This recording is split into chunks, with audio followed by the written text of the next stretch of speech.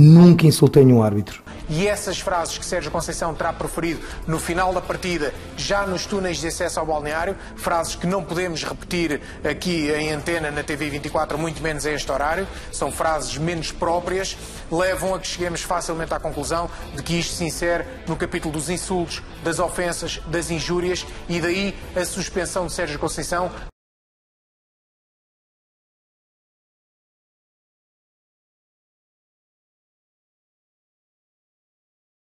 Nunca insultei nenhum árbitro.